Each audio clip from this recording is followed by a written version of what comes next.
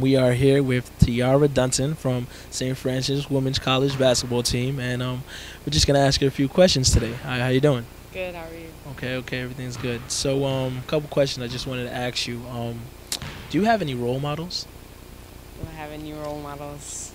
Basketball wise, um, even though my dad didn't play basketball, I say he's the most inspirational person.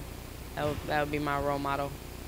Just- Okay, good. Keep it in the family. I like that. I like that. My mom's my role model my, herself. I mean, um, what do you like about St. Francis College? Uh, it's a small college, you know. It's um, just close. People are people are nice. The professors are good. So it's just more like a family. Okay, family, Flammy. Um, speaking about basketball, what do you think about your coaches and teammates?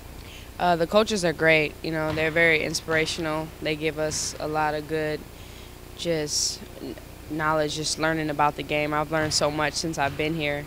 And the players, they're all good. We all get along.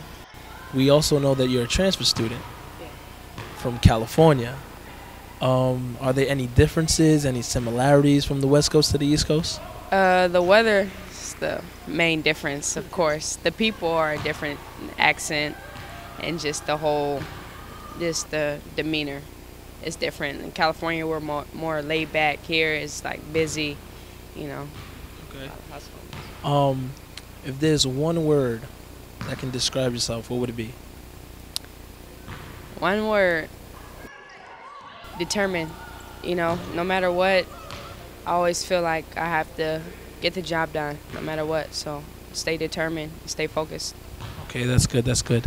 And one last question for you: What's your favorite meal of the St. Francis menu?